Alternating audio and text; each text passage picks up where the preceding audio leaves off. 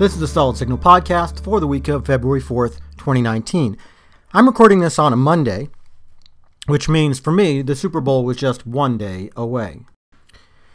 Was it a Super Bowl for the ages? Well, um, I suppose you could say by the numbers, the New England Patriots made it uh, into six wins, which puts them in very rarefied company. And I'm pretty sure Tom Brady now has more wins than any quarterback in history and is probably the oldest quarterback in the history of history to have won a Super Bowl, and there's all sorts of numbers and stuff like that.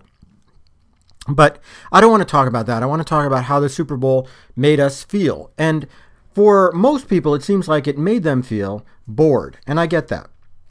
This was not one of those Super Bowls with miraculous play. This was a case where both teams did a really competent job on defense, and one team did a slightly better job on offense. Not not really uh, you know, a blowout by any measure. It's just that one team managed to score a touchdown and the other team did not. And in the end, that's about all you can say about that. You could say a similar thing about the com- about the commercials that some of them were kind of okay, but I don't think that any of them were really kind of water coolery in the way that you used to see 15 years ago. I think that the internet has blunted the edge a lot of these of a lot of these commercials because they come out days ahead of time. People can talk about them. There's just you know, there's nothing that you're really gonna chat about obsessively like you used to. And then if you're talking about the halftime show, um, it was not to my liking. Uh, musical tastes are very individual, and I guess this one just wasn't reaching out to me individually. I thought that it was just kind of okay. Uh, the bar has been raised so high for Super Bowl halftime shows, it's hard to know how you could really top it. But I will say this wasn't it.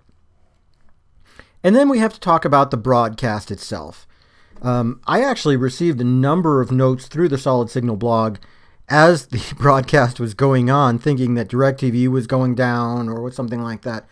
And it didn't turn, turn out to be the case. The truth is that every provider had a lot of problems with the Super Bowl, and it seems like most of it seems to have uh, come from the broadcast trucks and from CBS's own network, depending on where you are.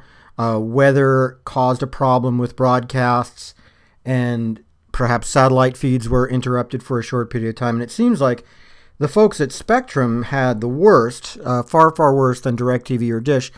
I counted about seven uh, quick drops in broadcast coverage. I mean, of a, of a second or two, and then we got on. And and yes, there was one that happened to be right in the middle of a field goal attempt, and that was frustrating. But it came back, and of course, there's always instant replay and stuff like that.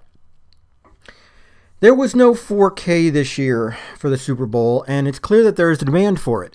Uh, at the moment, uh, if you look in the last seven days, uh, my article on whether or not the Super Bowl would be in 4K on DirecTV was the most visited article on the Solid Signal blog, as I said in the last seven days.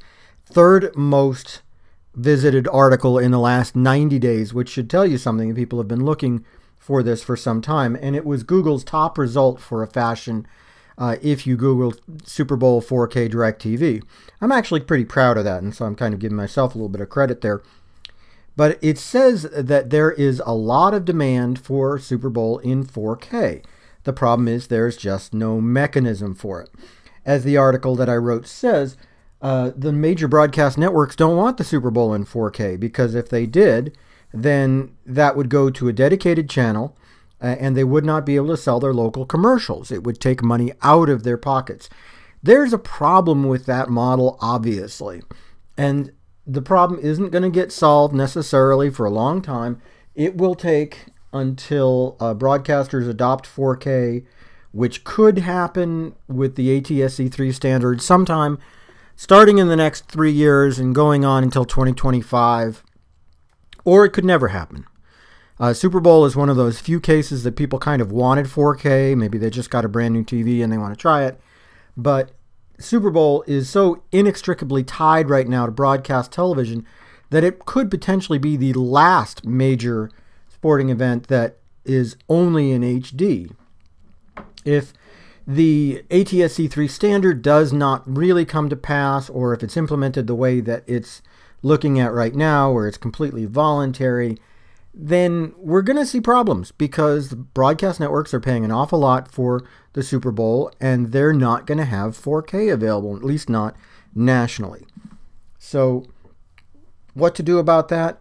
Well, one thing that we could see is potentially Super Bowl could tie itself to a company like Hulu or YouTube, and YouTube's already paid a lot of money for advertising, so it's quite possible it could be them. To where the network infrastructure could be strong enough that everybody could stream it in 4K. I don't see that happening really much in the next three or four years either. Truthfully, that's that would take an awful lot of bandwidth to get you know 100 million people streaming 4K all at the same time and have that work. Especially with, you know, pausing and backing up and all that stuff. And the last thing you want is for the one source of Super Bowl programming to go down in the clutch time.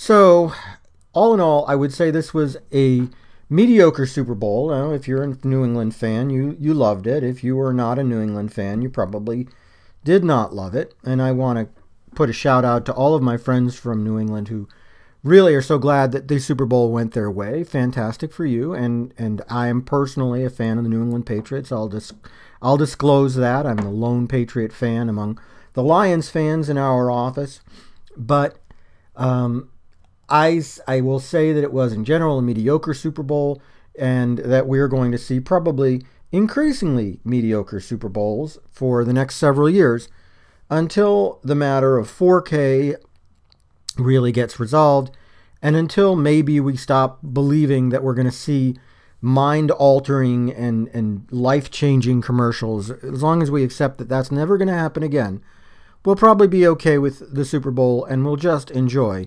watching the game. That's about it for me for the Solid Signal podcast for this week.